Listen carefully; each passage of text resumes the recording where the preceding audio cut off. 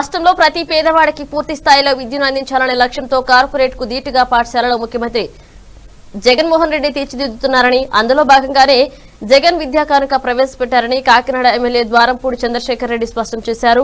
Kakinada PR కళాశాలలో జగనన్న విద్యా కానుక ప్రారంభించారు. ఈ సందర్భంగా మాట్లాడుతూ కార్పొరేట్ స్కూల్ విద్యార్థులు ఏ విధంగా యూనిఫామ్స్ షూస్ వేసుకుంటారు అదేవిధంగా ప్రభుత్వ పాఠశాలలో చదివే విద్యార్థులు కూడా అందించడం జరిగిందన్నారు.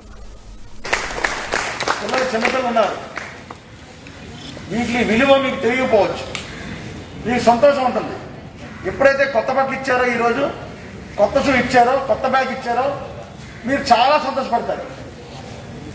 కానీ మీ యొక్క పేరెంట్స్ ఇక్కడ ఎవరైతే ఉన్నారో వాళ్ళందరి యొక్క బరువు బాధ్యతల్ని జగన్మోహన్ రెడ్డి భుజాల మీద వేస్తున్నారు ఈరోజు రాష్ట్రంలో ఉన్నటువంటి పేరెంట్స్ యొక్క బరువు బాధ్యత. ఇప్పుడు కుటుంబాలు ఉన్నాయి చాలా పేదరికంలో ఉన్నారు. అమ్మా నా స్కూల్లో మా పక్క ఫ్రెండ్ మంచి షూ వేసి వచ్చాడు మా టీచర్ గారు నాకు షూ వేసి నిలమంటున్నారు కానీ అదే షూ లేదు. బ్యాగ్ లేదని బాధపడితే కొనాలని మనసు వీకుంటుంది అయ్యో నా కొడుకు అడిగాడు నా కూతురు అడిగారు.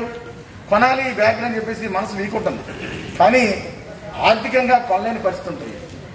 చాలా తపరపడిపోతాం మనం. ప్రతి కుటుంబంలో ఉన్న సమస్య ఇది. ఎవరి స్థాయిలో వాళ్ళకు ఉంటుంది. మా అమ్మాయి డాక్టర్ చదువుతున్నప్పుడు ఒకరోజు వెళ్ళాను. పక్క పిల్లలు మా అమ్మాయి వాడే ఫోన్ కన్నా మంచి ఫోన్ వాడుతున్నారు. నాకు బాధేసింది అయ్యో మన పాప చిన్న చిన్న ఇటువంటి ఫోన్ వాడుతుంటే వెంటనే కొన్నాం. అంటే మనకి బాగో మనకి లేకపోయినా మన పిల్లలు బాగుండాలి అని చూసే పేరెంట్స్ ఇప్పుడు ఈ రోజుల్లో ఉన్నాం. అటువంటిది మన బరువు బాధ్యతల్ని ఎవరైతే షూ కొనలేము ఎవరైతే బ్యాగ్ కొనలేము ఎవరైతే కొత్త బట్టలు తీయలేమని బాధపడే పేరెంట్స్ ఉన్నారో వాళ్ళందరికీ జగన్మోహన్ రెడ్డి గారు ఈరోజు దేవుళ్ళ కనబడతారని